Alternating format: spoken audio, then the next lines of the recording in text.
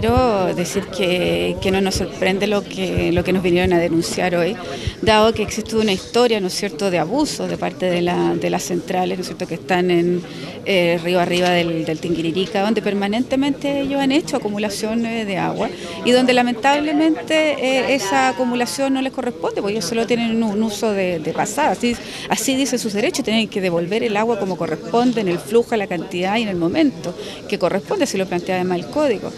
Embargo, ellos han llevado, ¿no es cierto?, a hoy día a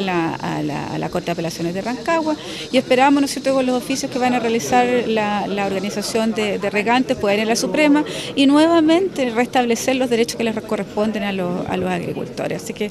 yo espero que esto ocurra, pero además que, el gobierno envíe una suma urgencia o discusión inmediata al proyecto que está en el, en el Senado, que nosotros lo revisamos rápidamente aquí en el año 2012, para precisamente poder em, eh, tener todas las herramientas, no solo de fiscalización, sino también de sanción a, esta, a estas centrales que abusan de los agricultores que sí tienen los derechos y además tienen eh, una producción de hace cientos de años ¿ah? en, el Valle de, de Colchán.